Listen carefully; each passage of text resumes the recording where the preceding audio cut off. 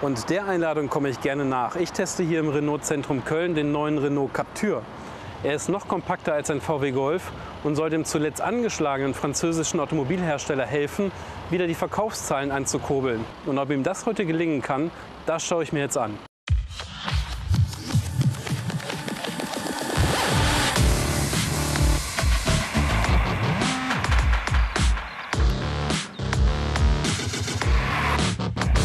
Renault möchte hier beim Captur vor allen Dingen durch den Einstiegspreis punkten.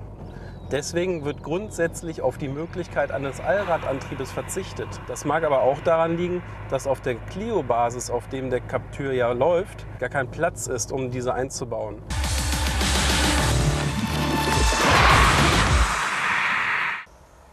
Hier im Renault Captur begrüßt uns weitestgehend das Renault Clio Cockpit. Das heißt, wir haben hier eine sehr aufgeräumte Optik und ein Lenkrad, was sich gut in der Hand anfühlt. Renault hat sich dafür was Neues beim Handschuhfach ausgedacht. Das öffnet sich nicht mehr nach unten, sondern ist eine Schublade. Hier muss dann der Beifahrer allerdings gucken, wie er seine Beine stellt, damit die nicht im Weg sind.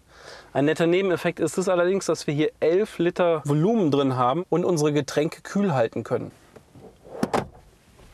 Die Rückbank hier hinten lässt sich um 16 cm in der Längsachse verstellen, sodass eigentlich immer genug Beinfreiheit vorhanden sein sollte.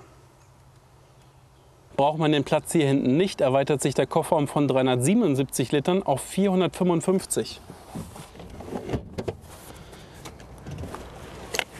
Klappt man die Sitze um, erweitert sich der Kofferraum auf 1235 Liter.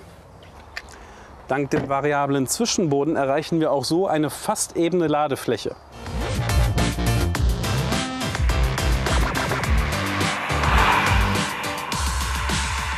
Renault stellt mit dem Captur ein sehr brauchbares Kleinwagen-SUV auf die Räder. Tendenziell sollte man allerdings den kleinsten Benzinmotor lieber außer Acht lassen, denn mit ihm fühlt man sich leider sonst ständig untermotorisiert. Zur Markteinführung gibt es allerdings noch zwei weitere Motoren und da sollte dann auf jeden Fall was dabei sein, was den eigenen Geschmack am besten trifft.